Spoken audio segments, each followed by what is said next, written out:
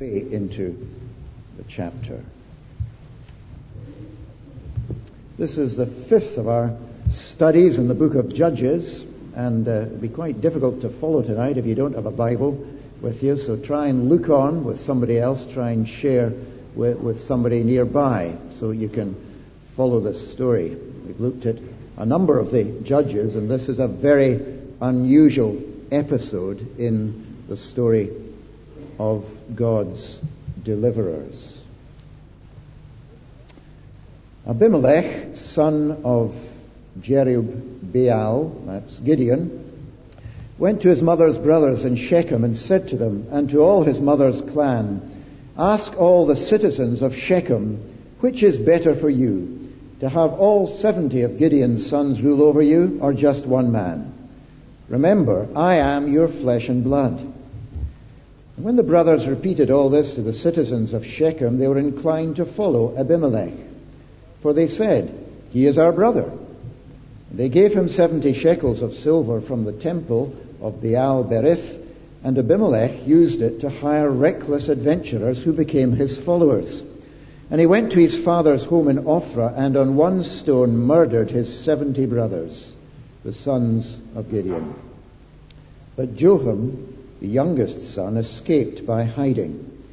Then all the citizens of Shechem and Beth Millo gathered beside the great tree at the pillar in Shechem to crown Abimelech king. And when Jotham was told about this, he climbed up on the top of Mount Gerizim and shouted to them, Listen to me, citizens of Shechem, so that God may listen to you. And then he tells a little story.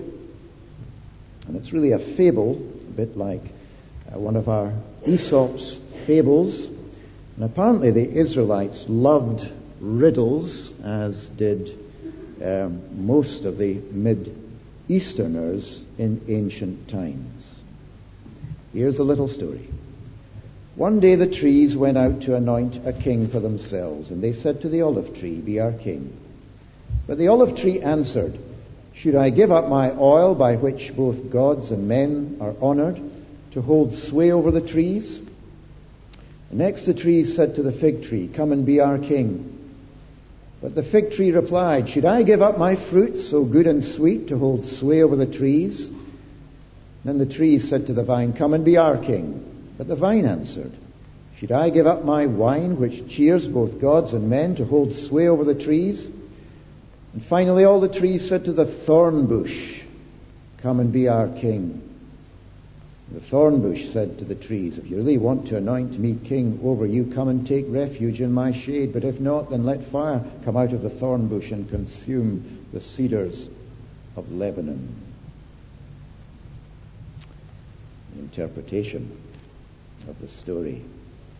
Now, if you've acted honorably and, and in good faith, said Jotham, when you made Abimelech king, and if you've been fair to Gideon and his family, and if you've treated him as he deserves, and to think that my father fought for you, risked his life to rescue you from the hand of Midian, today you've revolted against my father's family, murdered his seventy sons on a single stone, and made Abimelech, the son of his slave girl, king over the citizens of Shechem, because he is your brother.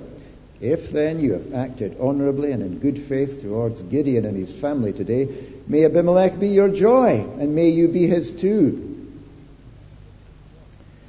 But if you have not, let fire come out from Abimelech and consume you, citizens of Shechem and Beth Millo, and let fire come out from you, citizens of Shechem and Beth Millo, and consume Abimelech. Then Jotham fled, escaping to Beer and he lived there because he was afraid of his brother Abimelech. And no wonder. And the rest of the chapter unfolds with uh, stories of uh, fighting and uh, revenge, ambush, and further ambushes.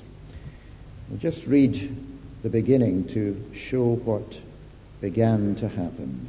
After Abimelech had governed Israel three years, God sent an evil spirit between Abimelech and the citizens of Shechem, who acted treacherously against Abimelech.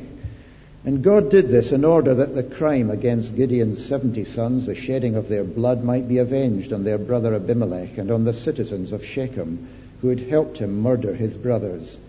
In opposition to him, these citizens of Shechem set men on the hilltops to ambush and rob everyone who passed by. And this was reported to Abimelech. He began to take revenge, and there is slaughter and counter slaughter um, in the town and out in the fields, and then worse in the tower. And then ultimately, Abimelech himself is crushed to death. And at the end of this gory story, we read these words in verse 56.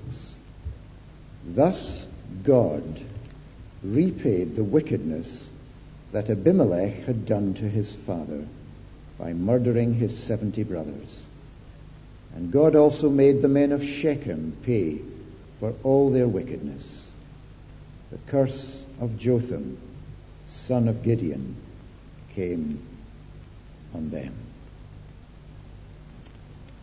And may God help us to understand His word to us tonight. And to His name be the praise. And what a story!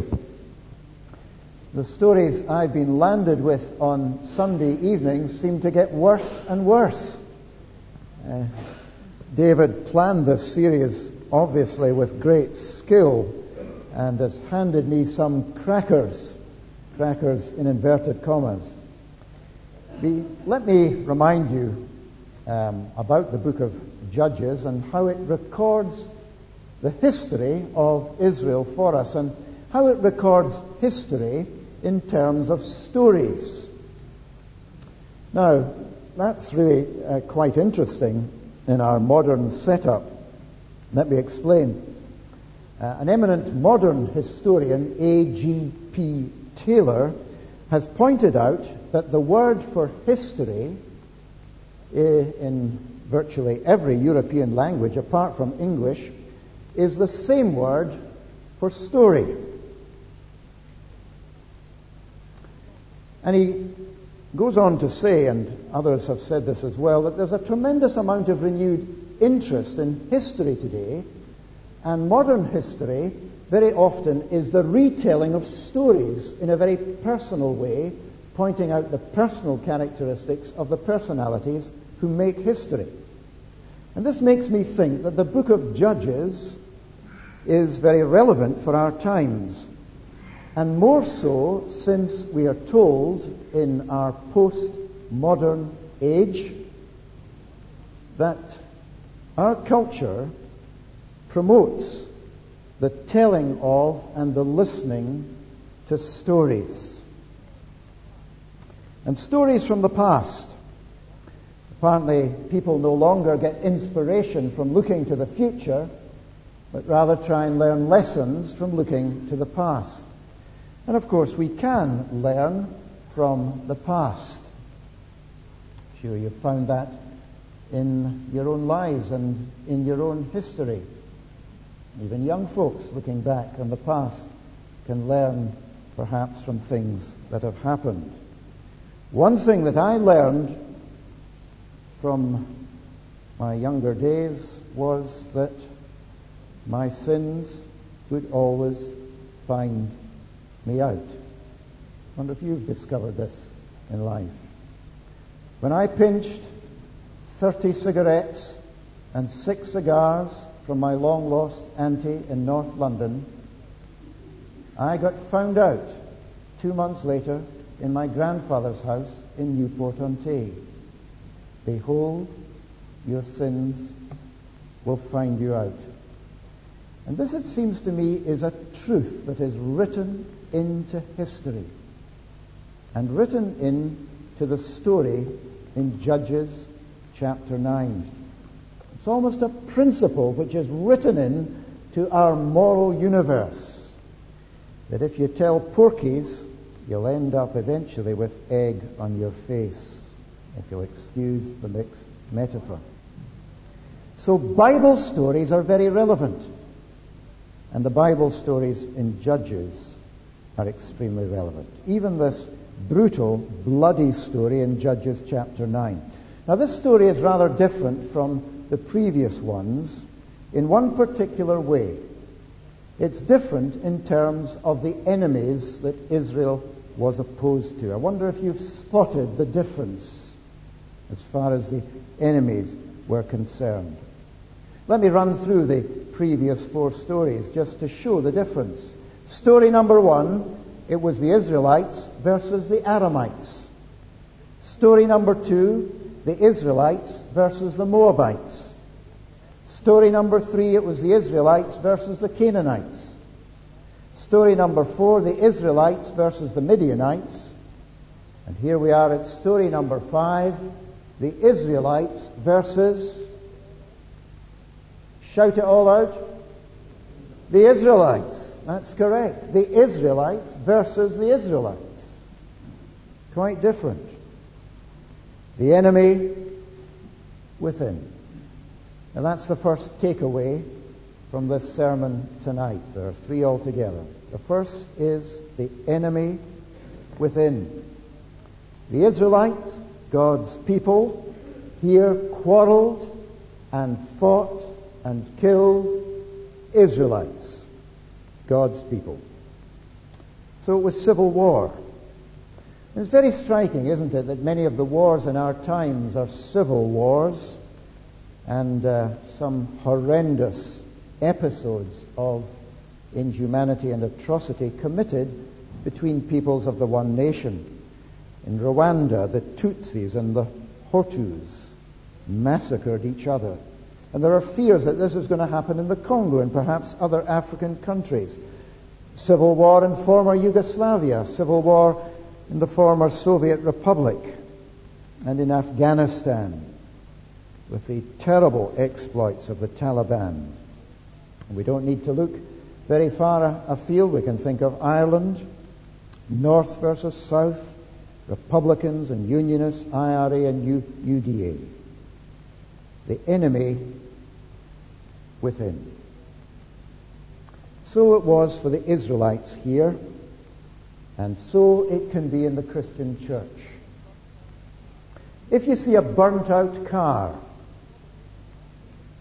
you probably, and there are quite a few of them around, if you go down the Glen or in the back road to Mount Ellen, there's always one or two.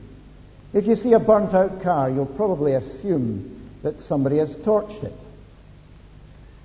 My Vauxhall Cavalier uh, was pinched from the car park about 10 years ago.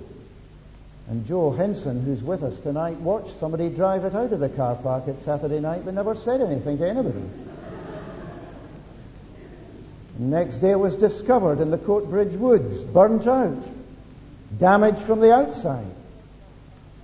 But if you see a burnt out car lying by the side of a motorway, the damage may not have been caused from the outside.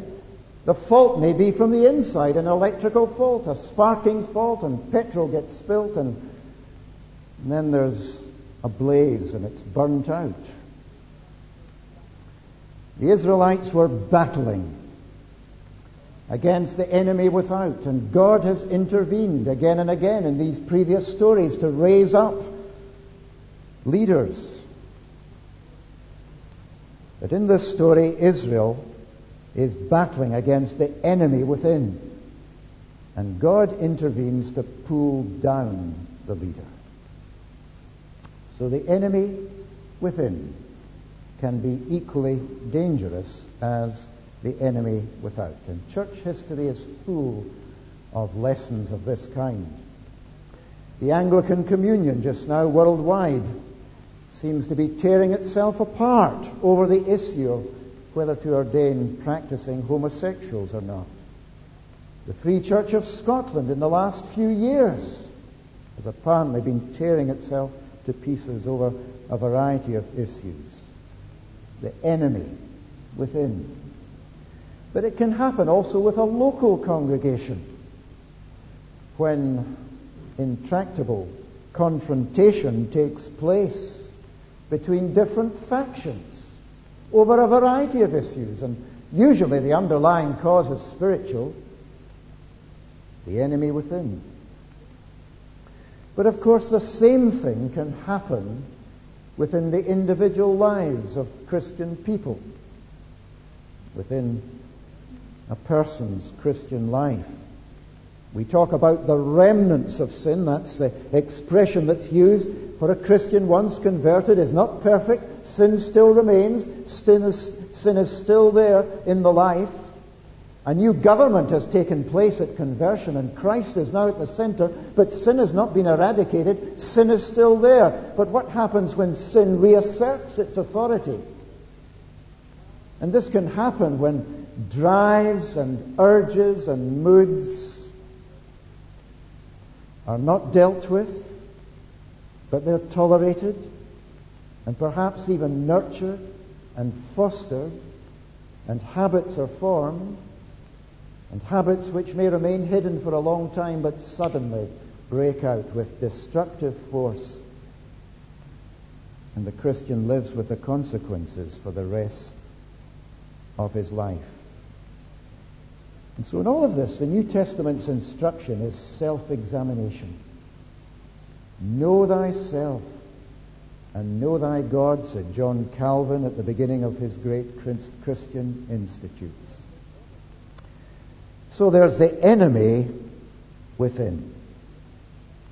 The second takeaway from tonight's sermon the warnings around. And the warnings, if we've eyes, to see, are all around concerning this man Abimelech. And here's the first warning it's a warning concerning carrying a chip on one's shoulder verses 1 and 2.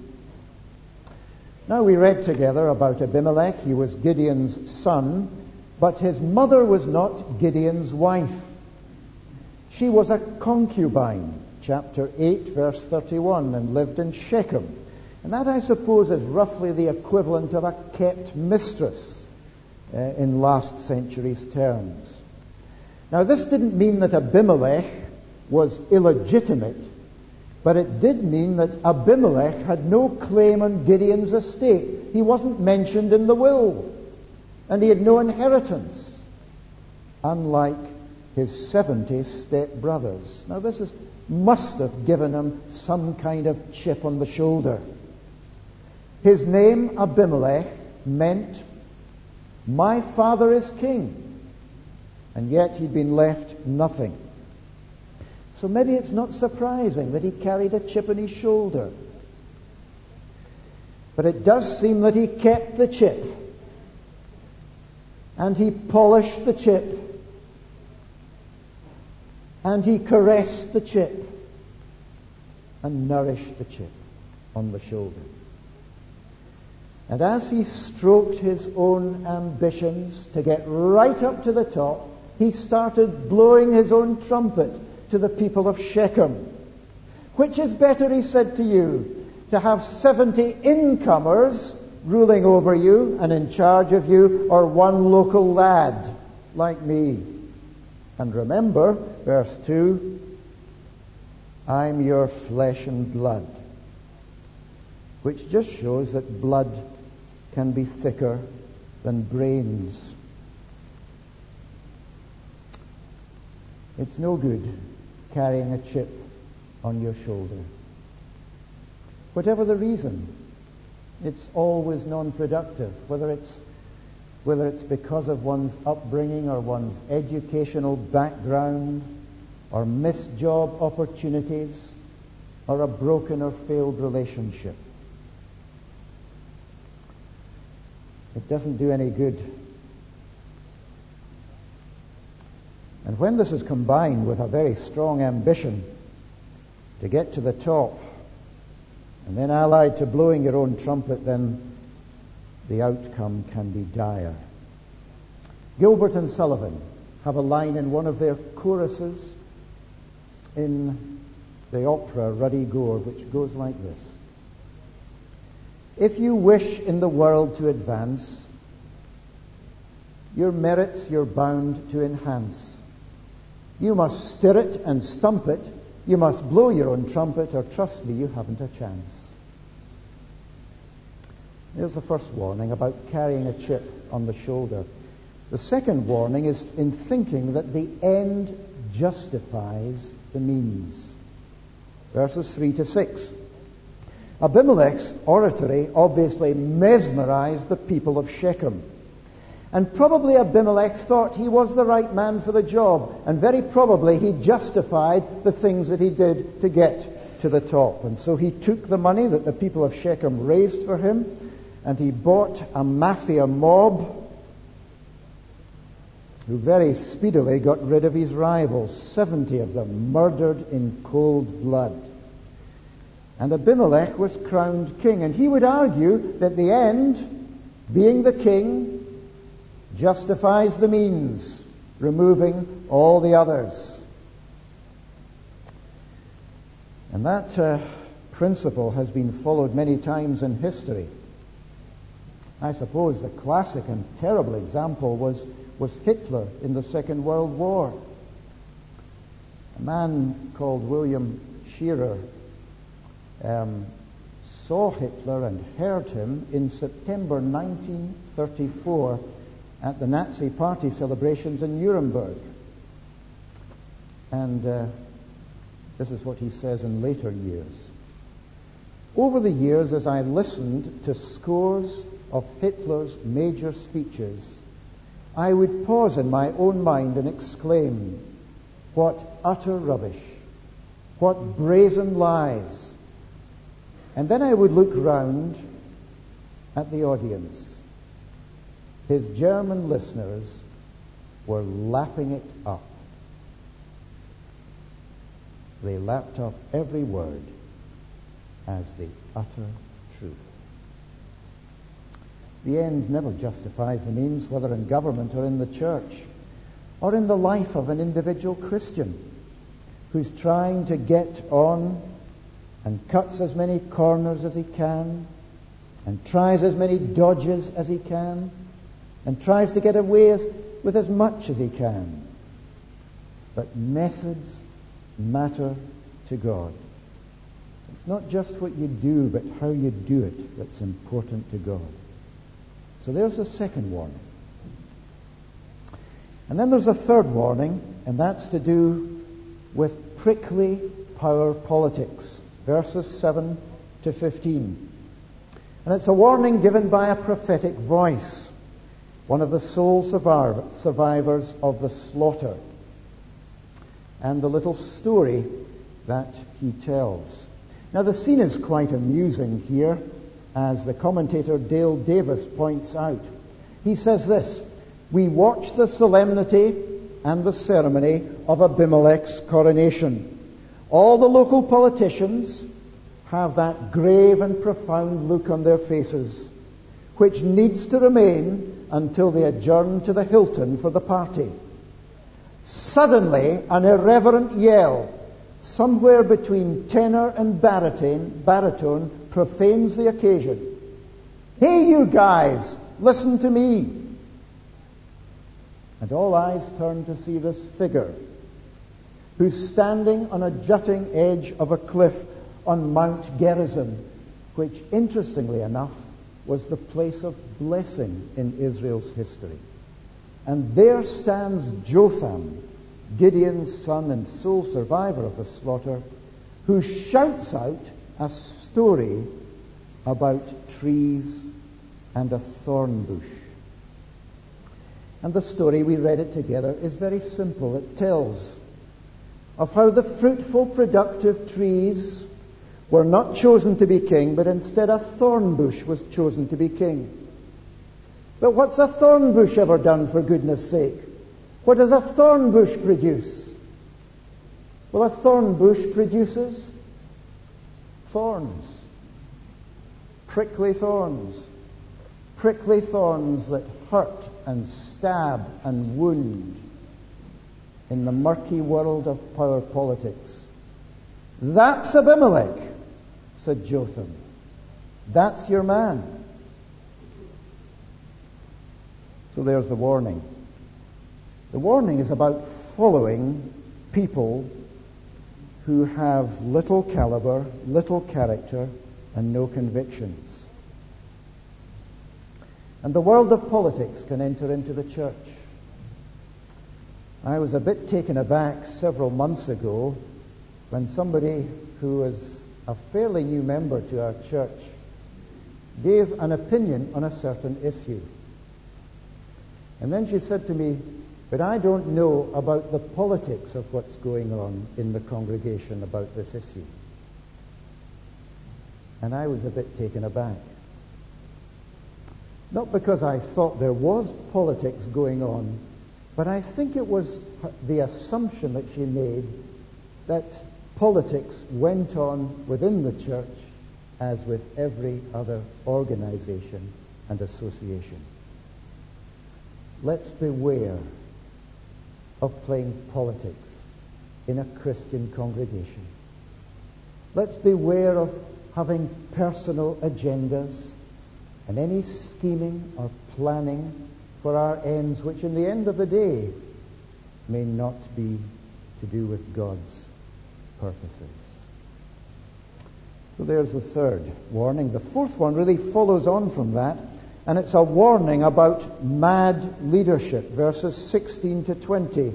And MAD stands for uh, mutual assured destruction. That's a modern nuclear deterrent expression. Jotham wasn't finished after his story. He followed up by some very strong words. And what he was doing was warning everyone of mutual destruction if they, the people of Shechem and Abimelech, followed their wicked ways. Verse 20. If you continue in this way, then fire will come out from Abimelech and consume, consume you, citizens of Shechem, and fire will come out from you, citizens of Shechem, and consume Abimelech mutual destru- destruction. It was mad. Madness.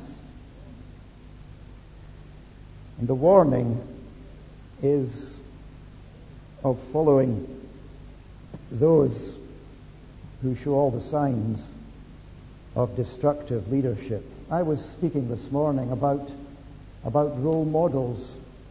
And uh, I suppose many of us parents and adults are very concerned about uh, the kind of role models that are available in society for young people today. And Michael Jackson performed at the Brit Awards a few years ago. He caused a major stir by acting out a Jesus like role, apparently without any sense of irony.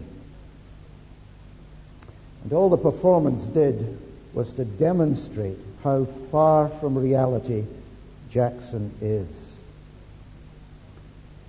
And when deeply unstable characters like Jackson and Kurt Cobain are widely accepted as role models, then the outlook is bleak. So there's another warning. Four warnings given here warning about carrying resentment, justifying means, trusting in politics rather than principles, and having wrong role models. The enemy within, the warnings around. And the third takeaway from this evening's sermon, and this is the really important one, the judgment from above verses 22 to 57. And that's the point of, of the story that unfolds in these verses, and it's really quite a, a racy story with a whole lot of gory details, it has to be said. And the story starts with the treachery on the part of the people, people of Shechem and their cynical program of ambush and robbery to spite Abimelech. Verses 22 to 25. And then there's a planned coup d'etat against Abimelech and organized by a man called Gaal, who had the gall when sozzled in Baal's bar in suburban Shechem to boast to his compatriots that he would have Abimelech's guts for garters. that's a rough uh, paraphrase of verses 26 to 29. But the leader of the local authority of Shechem, possibly Greater Shechem, a man called Zebul, was appalled at this. And he did the dirty on Gaal. And he leaked the story to the press and onwards to Abimelech. And Abimelech ordered his own ambush on Gaal, verses 30 to 36. And when Gaal saw he was done for, Zebul with great glee spat at him. Where's your big mouth now? And that's not a paraphrase of verse 31.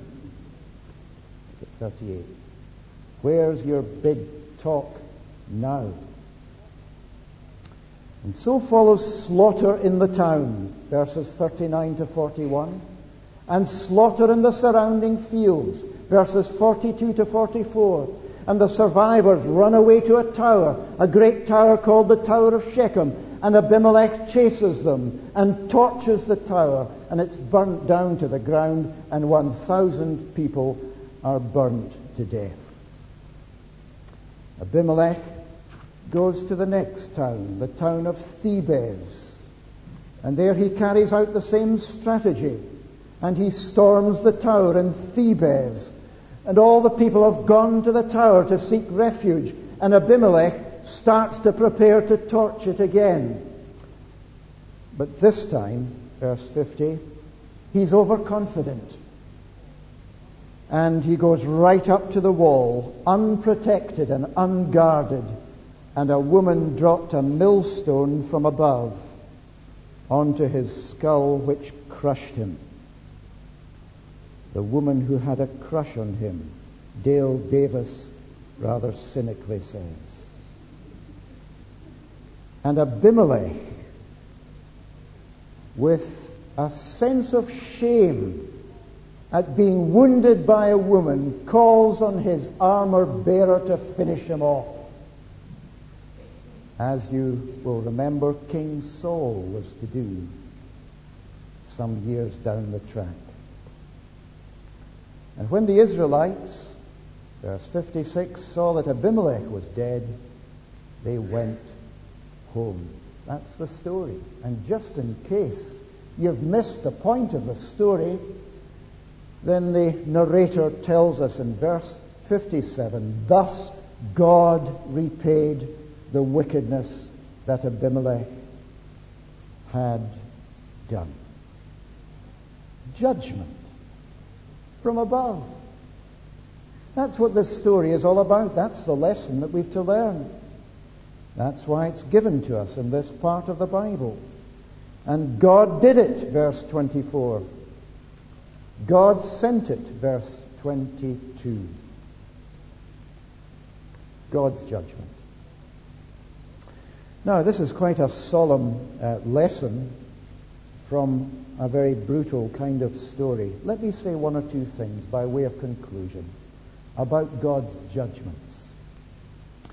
The first is this.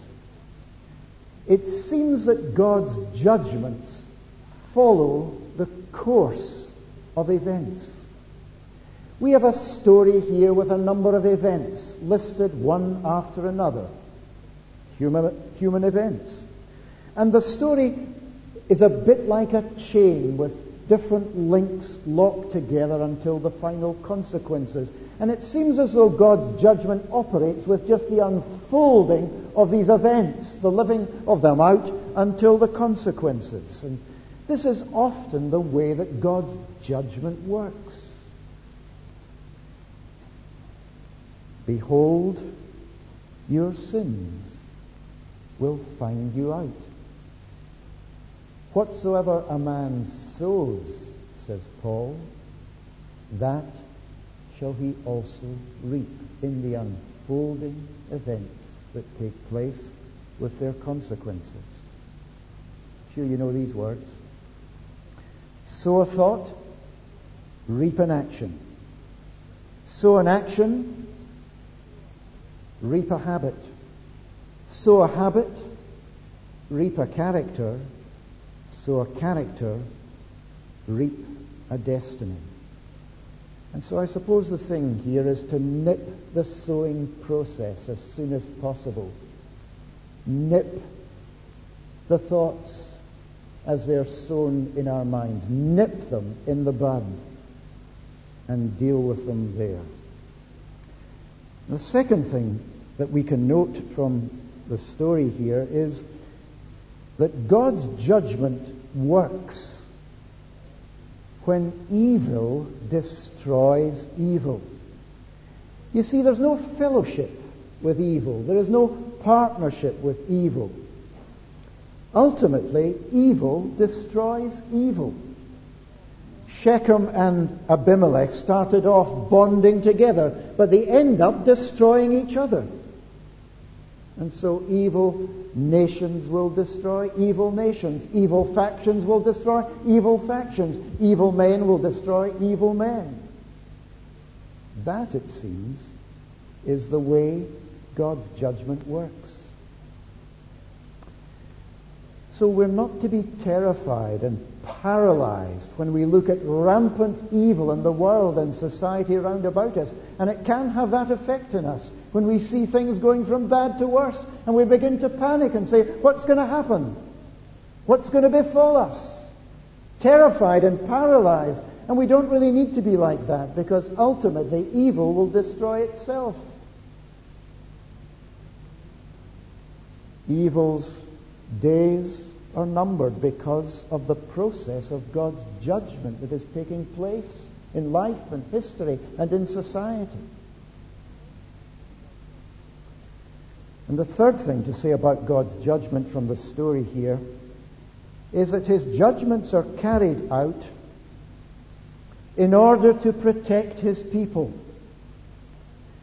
And that's a great positive lesson I want to finish with. Because after this terrible, brutal, and sorry episode, and after the death of Abimelech, we read in chapter 10 that there was a time of peace for something like uh, 23 years. And then another deliverer came along, uh, a judge, and there was peace for another 22 years. Add these two together, and you've got 45 years. Now that's a tremendous blessing. And that's why God's judgment went into operation in order to bring respite to his people. And God's eye is upon his oppressed people. It always has been and always will be. God's people are the apple of his eye, and his judgments in the world are in order to ultimately protect his people. And there is tremendous oppression taking place in our world today. I wonder if we realize it living in our sophisticated Scotland and very much sheltered and cocooned from persecution and trouble. Release International has published shocking figures showing that only 30% of all committed Christians live in the free Western world. The remaining 70% endure varying degrees of hardships and harassment and persecution. And Release International have estimated that a staggering 450 to 500 Christians are martyred for their faith every day. That's one every three minutes.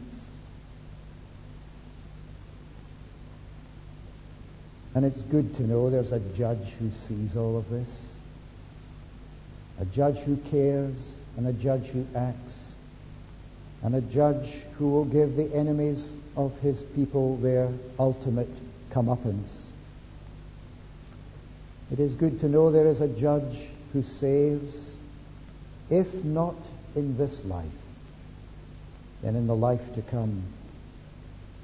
It's good to know there is a God who is sovereign and ultimately in charge, and that's what the book of Judges is teaching us. A God who is working his purposes out. A God who saves, and that's his great and significant work in history to save people, to bless them, to love them, to protect them, to guard them and keep them and, and lead them safely to glory. And judgment is his strange work which he has to do because of his commitment to his people. And that's good news. So the call tonight is to have faith in this God, to trust in him, to believe in him, even when we can't see the evidence of his work in the world and in society. Jesus said to the disciples three simple words, have faith in God. And yet also, we have to hold God in fear. To hold God in awe and with reverence because of who he is and because of what he does in his sovereign judgments. To revere and respect, to fear, and to follow and obey him. That, I think, is the call from this story tonight, a strange story to be in the Bible, but a story which teaches us ultimately about the greatness of God, his severity and his goodness. Paul said in the New Testament, Ye know the severity and goodness of God. Trust in him. Believe in him. Commit yourselves to him. Let's pray together.